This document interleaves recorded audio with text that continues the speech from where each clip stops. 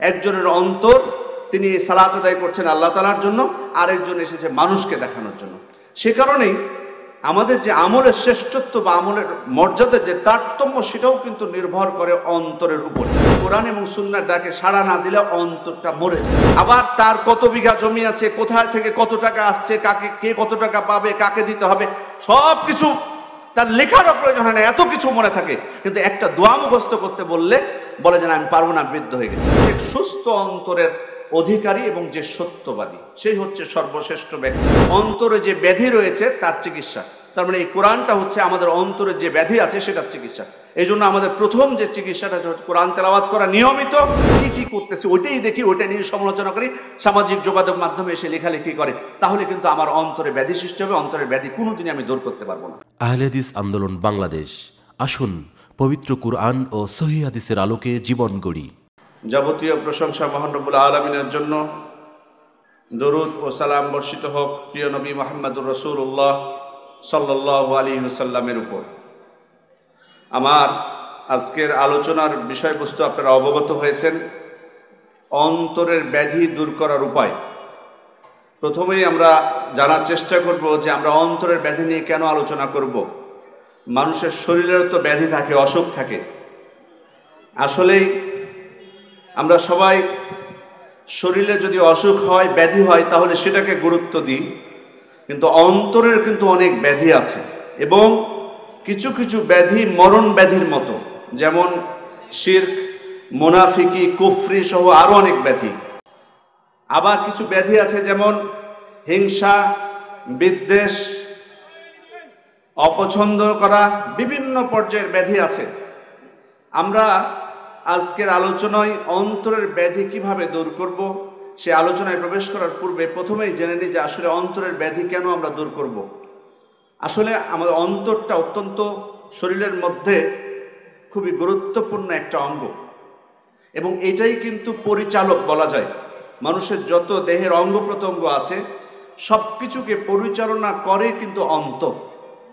তার দিক নির্দেশনায় তার সে যেটা ইচ্ছা করে, সেটাই কিন্তু অন্য অন্য অঙ্গ প্রত্যঙ্গগুলো বাস্তবায়ন করে। আল্লাহ রসুল আসলাম বলছেন ইন্নাফিল জেসাদে মুদগদান, ইদা সলাহাত, সলাহাল জেসাদ কুল্লু। নিশ্চয় শরীরের মধ্যে একটা মাংসপিণ্ড আছে, যদি সেটা ঠিক হয়ে যায়, তাহলে অন্য অন্য সবগুলোই ঠিক হয়ে যাবে। ওই যা ফেসাদাত, ফেসাদাল জেসাদ কুল্লু। আর যদি সেটাই নষ্ট হয়ে যায়, তাহলে অন্য অন্যগুলো নষ্ট হয়ে যাবে। এই কারণেই শরীরের ব্যাধি বা অন্তরের ব্যাধি নিয়ে আমরা আলোচনা করছি। দ্বিতীয় হলো যে তাকুয়া এই তাকুয়ার স্থান কিন্তু অন্তরেই আমরা সবাই জানি যে আমাদেরকে কিন্তু তাকুয়াবান হতে হবে। আল্লাহ রসুল আসলাম তার বুকের দিকে ইশারা করে বলেছিলেন আত্মাকুয়া হা হুনা আত্মাকুয়া হা হুনা। তিনবার তিনি বলেছিলেন যে তাকুয়া হচ্ছে এখানে তাকুয়া হচ্ছে এখানে। এবং আল্লাহ তালার পর্যবেক্ষণ এবং দৃষ্টিপাতের স্থানও কিন্তু হচ্ছে এ অন্তর। আল্লাহ রসুল আসলাম বলছেন ইন্নআল্লাহ ইলা ইলা সুয়ারিকুম। নিশ্চয় আল্লাহ তালা তোমাদের শরীরের দিকে বা তোমাদের চেহারার দিকে তাকাবেন না। ওয়ালাকিন ইয়ামদুরু ইলা কুলু বিকুম কিন্তু তিনি তোমাদের অন্তরের দিকে দৃষ্টিপাত করেন, অন্তর তিনি দেখেন। তাছাড়া আমলের যে শ্রেষ্ঠত্ব বা মর্যাদার তারতম্য, সেটা কিন্তু অন্তরের উপর নির্ভর করে। ইবনুল কাইম রাহিমহুল্লাহ তিনি বলছেন যে যে কোনো আমলের বাহ্যিক রূপ বা সংখ্যা দিয়ে কিন্তু আমলের শ্রেষ্ঠত্ব যাচাই করা যায় না। বা আমলের মর্যাদা তারতম্য হয় না। বরং অন্তরে যা আছে সেটার উপর নির্ভর করে। সেই কারণে আপনি দুইজন ব্যক্তিকে একই আমল করতে দেখবেন, কিন্তু তাদের দুইজনের আমলের মধ্যে আকাশ এবং জমিনের মতো পার্থক্য আছে। কেন? সেটা তাদের অন্তরের কারণে। কারও নিয়তটা সঠিক, সে কারণে সে ওই আমলের মর্যাদা পাচ্ছে, আর কারও নিয়ত সঠিক না হওয়ার কারণে সে মর্যাদা পাচ্ছে না। আপনি দেখতে পাবেন যে দুইজন ব্যক্তি একই কাতারে সালাত আদায় করছে সব কিছু একইভাবে করছে, প্রত্যেকটা যেভাবে নির্দেশনা আছে সেভাবেই করছে, কিন্তু একজনের সালাদ কবল হচ্ছে আল্লাহ তালার কাছে আর একজনেরটা কবল হচ্ছে না। কেন হচ্ছে না? নিয়তের কারণে, অন্তরের কারণে। একজনের অন্তর, তিনি সালাত আদায় করছেন আল্লাহ তালার জন্য, আরেকজন এসেছে মানুষকে দেখানোর জন্য। সে কারণেই আমাদের যে আমলের শ্রেষ্ঠত্ব বা আমলের মর্যাদার যে তারতম্য, সেটাও কিন্তু নির্ভর করে অন্তরের উপরে। আর এ কারণে আমরা অন্তরের ব্যাধি দূর করা নিয়ে আলোচনা করছি। প্রথমে আমরা জেনে নিব আরেকটা বিষয় যে অন্তরের ব্যাধি কেন হয়? অন্তর কেন আক্রান্ত হয়? প্রথম কারণ হলো আল্লাহ তালার স্মরণ থেকে দূরে থাকলে বা কোরআন সুন্নার বিধান থেকে দূরে থাকলে। তার প্রমাণ হচ্ছে আল্লাহ তালা বলছেন ওয়ালির রসুল ইদা ইউহীকুম হে ইমানদারগণ তোমরা আল্লাহ এবং তার রসুলের ডাকে সাড়া দাও, ইদা দাআকুম যখন তোমাদেরকে ডাকা হয়, লিমা ইউহীকুম যা তোমাদেরকে প্রাণবন্ত করবে, তোমাদেরকে জীবিত করবে।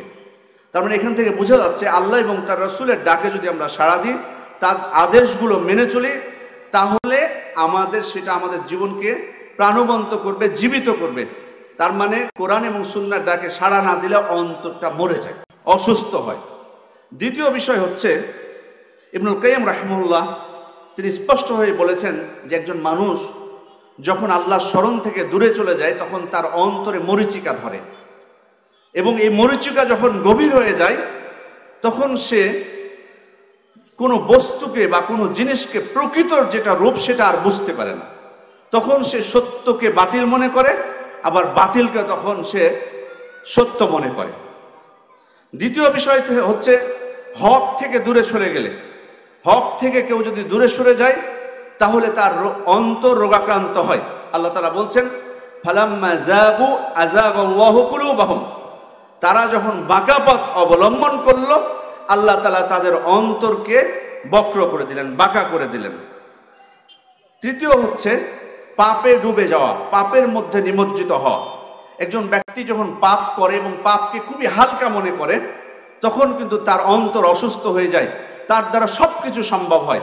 আল্লাহ রসুল বলছেন ওয়াইনাল ফাজের ইয়ারা বাহু কাজুবাক একজন পাপী ব্যক্তি যে অধিক পাপ করে, সে পাপকে একটা মাছির মতো মনে করে ওয়াকা আলা আনফিহি ফাকালা হাকাদা ফাতরা। যখন ওই মাছি তার নাকের উপরে সে বসে, সে এভাবে করে আর মাছিটা তখন উড়ে যায়। তেমনই ভাবে যে পাপের মধ্যে ডুবে যায়, সে পাপকে হালকাভাবেই নেয়। আর মানুষ যখন এই পাপকে হালকাভাবে নেয় তখনই কিন্তু পাপের মধ্যে ডুবে এবং পাপ করতে কোনো দ্বিধাবোধ করে না, খুব সহজভাবে নেয়। আর তখন তার অন্তর অসুস্থ হয়ে যায়। বেশি আশা করা, উচ্চাকাঙ্ক্ষা, এটা অন্তর অসুস্থ হওয়ার অন্যতম একটা কারণ। আল্লাহ রসুল আসলাম বলছেন, লা এজাল ও কলবুল কলবুল কবির সাব্বান ফিসনাতাইনে একজন বৃদ্ধ মানুষের অন্তর দুইটা বিষয়ে যুবক থাকে। বৃদ্ধ মানুষের অন্তর দুইটা বিষয়ে যুবক থাকে। ফি হব্বিদ দুনিয়া দুনিয়ার ভালোবাসা ও তুলিল আমাল, উচ্চ আকাঙ্ক্ষা। এবং এটা কিন্তু আপনি, আমরা সমাজে কিন্তু এটা দেখতে পাই খুব বেশি। দেখবেন বয়স হয়ে গেছে অনেক, চলাফেরা করতে পারে না, হাঁটতে পারে না। ইবাদতের কথা বললে, ভালো কথা বললে খুব ওজোর পেশ করে, অজুহাত পেশ করে। কিন্তু দুনিয়াবি ক্ষেত্রে কিন্তু খুব সব কিছু অ্যালার্ট সেদিকে আছে। যদি আপনি একটা দোয়া মুখস্থ করার কথা তাকে বলেন, সে বলবে যে, বাবা, বয়স হয়ে গেছে, আমি তো এখন মুখস্থ করতে পারছি না। সালাতের মধ্যে যদি ঠিকভাবে সালাতের আরকানগুলো ওয়াজিবগুলো আদায় না করে আপনি যদি ঠিকভাবে আদায় করতে বলেন, তখন বলবে, আমি তো পাচ্ছি না, বয়স হয়ে গেছে। কিন্তু দুনিয়ার সব কাজ কিন্তু বাইরে করে। আবার তার কত বিঘা জমি আছে, কোথায় থেকে কত টাকা আসছে, কাকে, কে কত টাকা পাবে, কাকে দিতে হবে সব কিছু তার লেখারও প্রয়োজন হয় না, এত কিছু মনে থাকে। কিন্তু একটা দোয়া মুখস্থ করতে বললে, বলে যে আমি পারব না, বৃদ্ধ হয়ে গেছি। তার মানে দেখুন, আল্লাহ রসুলাম বলছেন যে, বৃদ্ধ মানুষের দুইটা বিষয়ে সে যুবক থাকে, তার অন্তরটা বাদ বিষয়ে বৃদ্ধ হয়ে যায়। দুনিয়ার প্রতি ভালোবাসা, ওইদিকে উচ্চ আকাঙ্ক্ষা থাকার কারণে সব কিছু তার সে করতে পারে, কিন্তু অন্যদিকে সে আর করতে পারে না। তো অন্তর অসুস্থ হওয়ার অন্যতম এটাও একটা কারণ, দুনিয়ার প্রতি ভালোবাসা। এরপরের যেটি বিষয়, সেটি হচ্ছে যে কিছু কিছু মোবাহ আছে অতিরঞ্জিত করা সেখানে, অতিরিক্ত করা, বাড়াবাড়ি করা। যেমন আমরা সবাই জানি, ঘুম পাড়া। এটা আমরা, এটা আমাদের জন্য বৈধ। আমরা আমাদের প্রয়োজন মতো আমাদেরকে ঘুম পাড়তে হবে। এটা আমাদের চোখের হক। কিন্তু অনেকেই আছে অতিরিক্ত ঘুমায়। ইবনুল কাইম রাহিমুল্লাহ বলছেন, মিন মুফসিদাতিল কল্প কাসরাতুন নৌম মানুষের অন্তরকে ধ্বংস করে বেশি ঘুম। ফাইন্নাহু ইউমিতুল কল্প এই এই বেশি ঘুমটা মানুষকে হত্যা করে, তার অন্তরকে মেরে ফেলে। আমাদের অনেক ভাইরা আছেন, যুবক বয়স, তাও বলেন, ঘুমান অনেক যদি বলা হয় যে এত কেন ঘুমাচ্ছেন, বলবেন যে না, ডাক্তার বলে আট ঘণ্টা, নয় ঘণ্টা একজন মানুষকে কমপক্ষে ঘুমাতে হয়। এই বয়সে যদি আট, নয় ঘণ্টা ঘুমান, তো কাজ করবেন কখন? পড়াশোনা করবেন কখন? আপনি মনে রাখবেন যে পৃথিবীতে যারাই শ্রেষ্ঠ হয়েছে, যত মনীষী আছে, সবাইকে আপনি জিজ্ঞেস করে দেখেন, তারা কতক্ষণ ঘুমাতেন? হ্যাঁ আপনি যদি ছোট একটা বাচ্চার কথা হয়, সেটা আলাদা বিষয়। তার অনেক ঘুমের প্রয়োজন। বয়স হয়ে গেছে অনেক মানুষ, সত্তর আশি বছর তারও একটু বেশি ঘুমের প্রয়োজন। কিন্তু আপনি যদি নয় ঘণ্টা ঘুমান তাহলে আর কি বাকি থাকল দিনের মধ্যে? পড়াশোনা করবেন কখন, ইবাদত করবেন কখন, কাজ করবেন কখন? আমাদের সম্মানিত sir, professor doctor Asadullah Ghalib স্যারকে আপনি জিজ্ঞেস করেন।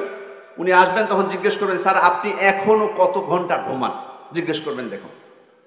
এত সহজ বিষয় না। আপনি কোথা থেকে কোথায় পাবেন, নয় ঘণ্টা, আট ঘণ্টা ঘুমাবেন, এটা আসলে অত্যন্ত অতিরিক্ত ঘুম হয়ে যায়। তো আমি যুবক ভাইদেরকে বিশেষভাবে বলব যে ঘুমটাকে নিয়ন্ত্রণ করতে হবে। আপনি যেটা অভ্যাস করবেন আর কেন এত ঘুমাতে হয়? কারণ আপনি সঠিক সময়ে ঘুমান নাই কারণে। সঠিক সময়ে ঘুমালে কিন্তু এত বেশি ঘুমানোর প্রয়োজন হয় না। আপনি যদি এশারের পরে রাত দশটা, এগারোটার দিকে ঘুমিয়ে পড়েন, তাহলে কিন্তু আপনি দেখবেন চার ঘণ্টা, পাঁচ ঘণ্টা ঘুমালে এনাফ আপনার আর ঘুমের প্রয়োজন হবে না। এই জন্য বেশি ঘুম, এটা কিন্তু মানুষের অন্তরকে কিন্তু মেরে ফেলে। এবার আমরা আসব অন্তরের চিকিৎসা। কেন আমরা চাই অন্তরের চিকিৎসা করতে? কারণ হচ্ছে সুস্থ অন্তর ছাড়া আমরা মুক্তি পাবো না, আল্লাহ তালার কাছে। আল্লাহ তালা আল্লাহ রসুল আসলাম হাদিসের মধ্যে বলছেন, তাকে জিজ্ঞেস করা হলো আইউনাসে আফদল? আল্লাহ রসুল, মানুষের মধ্যে উত্তমকে তিনি বললেন, কুল্লু মাহমুমিল কল্প ও সুদুকিল লিসান। অর্থাৎ প্রত্যেক সুস্থ অন্তরের অধিকারী এবং যে সত্যবাদী, সেই হচ্ছে সর্বশ্রেষ্ঠ ব্যক্তি। এবং আল্লাহ তালা পবিত্র কোরআনে বলছেন, ইব্রাহিম আল ইসলাম দোয়া করেছিলেন আল্লাহ তালার কাছে, ওয়ালা ইয়াউমায়ুব আসুন হে আল্লাহ, আপনি পুনরুত্থানের দিনে আমাকে লাঞ্ছিত করবেন না। তিনি বলেছিলেন পুনরুত্থানের দিনে আপনি আমাকে লাঞ্ছিত করবেন না। তারপর আল্লাহ তালা বলছেন, তারপর বলছেন ইয়াউমালায়ান ফমালু বানুন। যেদিন কোনো সম্পদ এবং সন্তান সন্ততি কোনো উপকারে আসবে না ইল্লামান আতাল্লাহ বেকল বিন সালিম। তবে যে আল্লাহর কাছে সুস্থ অন্তর নিয়ে উপস্থিত হয়েছে। আমরা অন্তরকে যদি সুস্থ রাখতে চাই, আমাদের ব্যাধি দূর করতে চাই, তাহলে প্রথম বিষয় হলো পবিত্র কোরআন তেলাওয়াত করা এবং তাদাব্বুরের সাথে চিন্তা ভাবনা করে, গভীর চিন্তা ভাবনা করে আমাদেরকে পবিত্র কোরআন তেলাওয়াত করতে হবে। আফালা কোরআন আম আলা তারা কি কোরআন নিয়ে গভীরভাবে চিন্তা করে না, নাকি তাদের অন্তরে রয়েছে তালা? এজন্য কোরআন নিয়ে গভীরভাবে চিন্তা করা। আল্লাহ তালা অন্য আয়াতে বলছেন ইয়াইহান্না হে ইমানদারগণ তোমাদের রবের পক্ষ থেকে তোমাদের কাছে এসেছে উপদেশ ও শিফা উল্লিমা ফি সুদূর।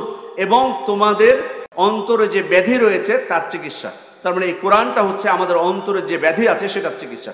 এই জন্য আমাদের প্রথম যে চিকিৎসাটা হচ্ছে কোরআন তেলাওয়াত করা নিয়মিত।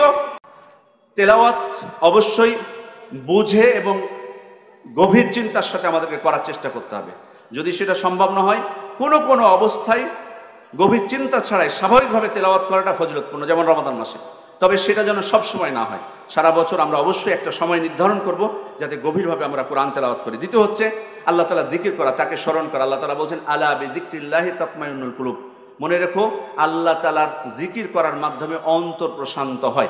আর অন্তর প্রশান্ত হবে না যদি আমার অন্তরে ব্যাধি থাকে। ব্যাধি দূর হলে অন্তর প্রশান্ত হবে। তার মানে আল্লাহ তালার জিকির যদি আমরা করি, তাহলে আমাদের অন্তরের ব্যাধি দূর হবে। আল্লাহ তালার কাছে বেশি বেশি দোয়া করতে হবে। ইয়া মোকাল্লিবাল কুলুবে, সাব্বেত কলবি আলা দিনিক। হে অন্তরের পরিবর্তনকারী, আপনি আমাদের অন্তরকে আপনার দিনের উপর সাবেত রাখুন দৃঢ় রাখুন। ইয়া মুসারিফাল কুলুবে, সররিফ কুলুবানা আলা তোয়াতেক হে অন্তর পরিচালনাকারী, আপনি আমাদের অন্তরকে আপনার আনুগত্যের উপর অটল রাখুন। আপনি আরও দোয়া করলেন রব্বানা আল্লাহ তুজি কুলুবানা বা আদাই হাদাইতানা ওয়াহাবলানা মিল্লাদুনকা রহমা। হি আল্লাহ, আপনি আমাদের অন্তরকে হেদায়ত দান করার পর বক্র করে দিবেন না, পদভ্রষ্ট করবেন না। এভাবে যে সমস্ত জায়গায় পাপ সংগঠিত হয়, ফেতনা সংগঠিত হয়, ফেতনায় পড়ার আশঙ্কা আছে, সেই স্থানগুলো থেকে নিজেকে বিরত রাখাটাও অন্তরের ব্যাধি দূর করার অন্যতম উপায়। আরও একটি যেটি গুরুত্বপূর্ণ বিষয় বলব দুইটা, সেটি হচ্ছে আত্মসমালোচনা করা। আমরা কিন্তু মানুষের সমালোচনা নিয়ে, মানুষের ভুল নিয়ে বেশি ব্যস্ত থাকি। তো নিজে কি করি সেটা বুঝি না। অন্তরের ব্যাধি দূর করার অন্যতম আরেকটা মাধ্যম হলো কমপক্ষে দিনের একটা সময় আমরা যাতে নিজেরা একটু ভাবি যে আমি আজকে সারা দিনে কতগুলো ভালো কাজ করেছি। একটু যদি অন্তর দিয়ে ভাবি কতগুলো ভুল আমার হয়েছে, ভুল তো আমরা করি, এটা তো স্বীকার করতে হবে আমাদেরকে। যদি আমরা সেগুলো স্বীকার করতে পারি, নিজেদের ভুলগুলিকে চিন্তা করি তাহলে কিন্তু আমার সংশোধন হওয়া সম্ভব। আর যদি সেটা না চিন্তা করে শুধুমাত্র মানুষের পিছনে দৌড়ায় কি কি করতেছে ওইটাই দেখি, ওইটা নিয়ে সমালোচনা করি, সামাজিক যোগাযোগ মাধ্যমে এসে লেখালেখি করে। তাহলে কিন্তু আমার অন্তরে ব্যাধি সৃষ্টি হবে, অন্তরের ব্যাধি কোনোদিনই আমি দূর করতে পারব না। মান থাতাব্বা আল্লাহ, মান থাতাব্বা আওরাতান নাস থাতাব্বা আল্লাহ আওরাতাহু। যে ব্যক্তি মানুষের দোষ ত্রুটি অনুসন্ধান করে, আল্লাহ তাআলা তার দোষ ত্রুটি প্রকাশ করে দেন। সে কারণে আমরা নিজেদেরকে নিয়ে বেশি ব্যস্ত হই, আত্মসমালোচনা করার চেষ্টা করি আইহলাদিন আমানুত্তাকুল্লাহ ওয়াল তানজুর নাফসু মা কদ্দামাত লেবার হে মন্দির তোমরা আল্লাহকে ভয় করো এবং তোমাদের প্রত্যেকের উচিত চিন্তা করা আগামীকালের জন্য, অর্থাৎ কিয়ামতের জন্য, পরকালের জন্য সে কি প্রেরণ করেছে? কি আমি তৈরি করেছি? পরকালে আমি যদি এখনই আমি মৃত্যুবরণ করি, তাহলে আল্লাহ তালাকে কি জবাব দিব? কি আমল, কোন আমলটা আমার সহযোগী হবে, আমার আমার নেকির পাল্লা ভারী করবে? এই জন্য এটা আত্মসমালোচনা করাটা খুবই জরুরি একটা বিষয়। তারপরে শেষ যেটা বলব, সেটা হচ্ছে ধৈর্য ধারণ করা। আমরা ধৈর্য ধারণ করতে হবে আমাদেরকে। ধৈর্য ধারণ করব যেমন আল্লাহ তালার ইবাদতে তেমনইভাবে যে কোনো বিপদ আপদে এবং পাপ থেকে বিরত থাকার ক্ষেত্রে। পাপ থেকে বিরত থাকতে কিন্তু প্রচণ্ড ধৈর্য লাগে। শয়তান কিন্তু ওয়াসওয়াসা দিবে। জিন শয়তান হোক আর মানুষ শয়তান হোক, আপনাকে নানাভাবে কুমন্ত্রণা দিবে যাতে আপনি পাপে পতিত হন। কিন্তু আমাদেরকে তখন কিন্তু ধৈর্য ধারণ করতে হবে, তবেই আমরা নিজেদেরকে দূরে রাখতে পারব। আর তখনই আমার অন্তরের ব্যাধি দূর হবে, আমার অন্তর অসুখ সৃষ্টি হবে না। আমার সময় শেষ হয়েছে। আল্লাহ তালা আমাদের সবাইকে অন্তর পরিশুদ্ধ করার তৌফিক দান করুন এবং আমাদের অন্তরের ব্যাধিগুলো দূর করার তৌফিক দান করুন আল্লাহ আমিন। এবং একটি বই অল্পে তুষ্টি আমার আমাদের ছোট ভাই আব্দুল আল মারুফের লেখা অল্পে তুষ্টি জীবনের প্রশান্তি। আপনারা খুবই গুরুত্বপূর্ণ একটা বই, আপনারা সংগ্রহ করবেন হাদিস ফাউন্ডেশন লাইব্রেরি থেকে। এবং আরেকটি হচ্ছে মাসনুন দোয়া ও জিকির, হাদিস ফাউন্ডেশন বিভাগ থেকে এটি প্রণীত। আপনারা এই দুইটা বই আমাদের স্টলে পাওয়া যাচ্ছে, আপনারা সেখান থেকে নেবেন। আপনাদের সবাইকে ধন্যবাদ জানিয়ে আমার আলোচনা শেষ করছি। আসসালামু আলাইকুম রহমতুল্লাহ বরকাত